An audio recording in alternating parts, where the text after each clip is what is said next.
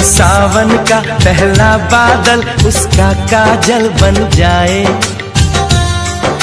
मौज उठे सागर में जैसे ऐसे कदम उठाए।